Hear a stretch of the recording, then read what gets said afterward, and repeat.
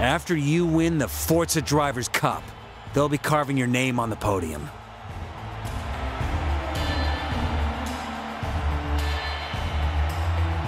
You just won the Seeker Championship, and you showed everyone what a contender you are.